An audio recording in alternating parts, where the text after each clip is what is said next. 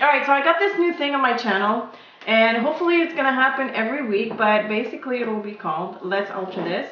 And I will take an object that I might have thrown away in the garbage and I'll play with it and see what I come up with. Alright, the reason why I have so many cartridge boxes out here is because I cleaned up my studio and I didn't have room for these bulky boxes. So I took the cartridges and the booklets out of these boxes, but I didn't want to throw them away. They're perfect for gift giving. And you can you can put a lot of chocolates in there, candies. I think you can probably fit um, a pair of gloves in there. What's great about these boxes though, besides the size, is the closure. It's magnetic, so you don't have to figure out a way to keep your box closed when you're giving your gift. It's already done for you. So let's head out to my studio and let's alter this. So here's my box, which I've already started altering, and I went around the edges with this paint. It's called Precious Metal Color. It's made by Viva Decor. This one in particular is orange yellow, but look at this. It really has a nice shine to it. You have to remember to shake it really well. Um, but the results are amazing. What is also good about this uh, kind of paint is that it'll go onto any type of surface, whether it's porous or non-porous. So you can do it on paper, on um, chipboard, but you can also use it on plastic, metal, glass, anything goes. The reason why I chose this color is because I was inspired by this piece of paper. It is the Lost and Found by My Mind's Eye. I haven't decided yet if I'm going to be using gray or black cardstock to mat my paper. So I'm also going to be using these flowers, which I had previously altered, but I didn't like the way they turned out. to me, the colors were too washed out. And I have these leaves here that also coordinates with that gold glitter and those tiny little black roses. I wanted to show you how I'm going to embellish my flowers. I'm going to turn them into frost, what I call frosted flowers anyways. So what I did is I took some white glue, uh, any cheap white glue will work, and I coated the, the bottom of my container here with that glue, and I'm going to add water to this. And I don't have the exact recipe. I just add water until I'm satisfied with the result. It's got to be liquid enough for the flower to be dunked in. So you want a good coverage on your flower. Okay. You want to retain, retain enough of the glue so that everything will stick to your flower and stay that way. So unfortunately, I don't have the stem of the flower, so I'm using my uh, handy dandy uh, tweezers here, and I'm just going to dunk my flower moving it around in my container. And by the way, it's not a paper flower. It's actually made of, oh, I want to say, what's it called? Fun foam. And uh, so those are really hard to dye when you want to dye them. And that's why that color was like very wishy-washy. Remove the excess liquid for a little bit. And then here next to me, I have uh, some Dazzling Diamond Glitter.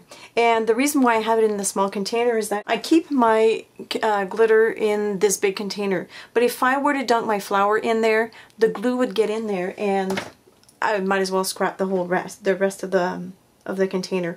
So that's why I set aside some of the glitter and that way I can just throw it away, throw it out when I'm done glittering my flower.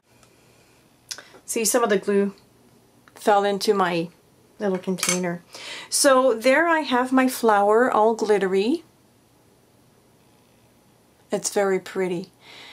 I'm going to add some of this um, craft reinker in basic black from Stampin' Up! But you can use regular reinker like the classic one. It doesn't matter. I just happened to get my hands on the um, on the craft one.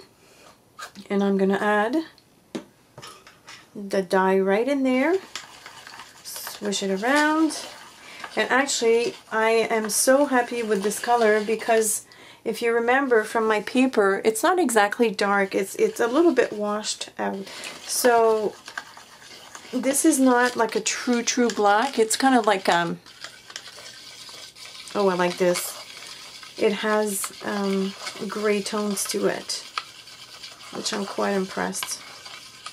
All right. Let's try this together. this is an experiment, guys. All right, where's my other flower? Right here. Okay, let's do this. So let's dunk it in there. Oh, this is going to be nice. I'm going to try and do a bit of the underside as well because we never know what's going to show at the end the experiment or how it's going to sit on the box. So I'm just trying to get as much coverage as I can. Ooh, have you ever seen a gray rose? well, you've seen it here first, folks. Okay, I'm moving all around here. All right, let's put some more. I'll try to make the other flower a little bit darker. There it is. Oh, I like this. Oh, it's pretty. Oh, I don't know what you guys think, but I'm quite satisfied with this one. Oh, you're so pretty. Mm-mm-mm. All right, so, and be very careful. You need a surface that is non-stick because once this flower dries, uh, it will get stuck to whatever you have it sitting on. And this is a non-stick craft mat, so this is perfect. I'm going to add a bit of black.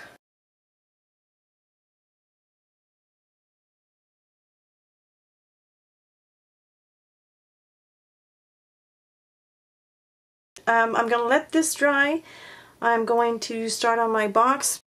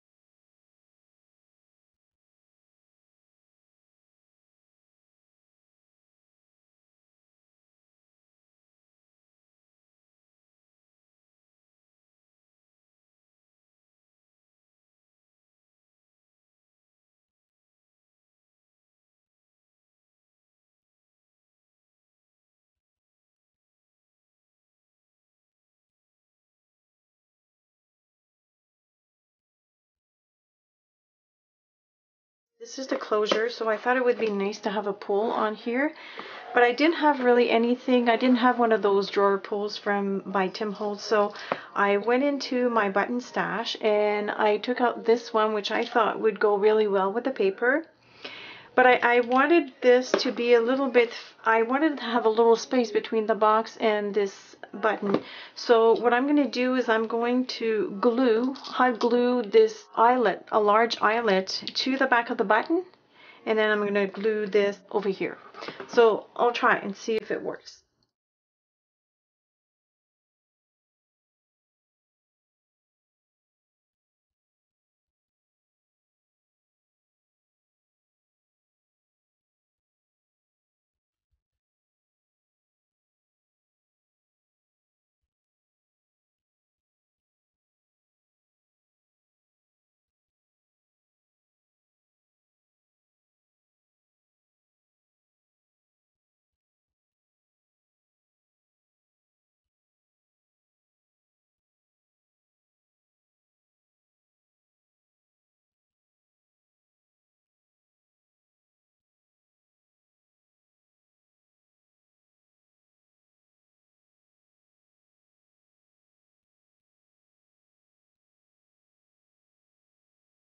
So here's my finished box. I'm really happy with how it turned out. I love those glitter flowers. For this one here, I ended up having to add some orange glitter over the gold glitter that I originally put because it was just a little bit too yellow and it didn't match that the glitter on the paper. So what I did is I took some spray adhesive and I sprayed really lightly and then added the orange glitter and it worked perfectly. And because the paper is so decorative, I didn't have to add too many embellishments. And I love how the label shows up on that piece of paper. It's just, uh, the paper is just so fun to work with. So what I did is I added some uh, fuzzy leaves. They're kind of like velvety and I really like those. I don't know if you'll be able to catch the, uh, tiny black roses right there. They're so cute. And then I love those black pearls there, really shiny. And I added another rose here. And as for the pull, um, I'm going to have to figure out another mechanism because when I pulled on it, I feel like the paper wants to come with it. The other problem with this closure is that because you have magnets here, you can't really add anything that um, you can't add anything here because otherwise the magnets won't catch.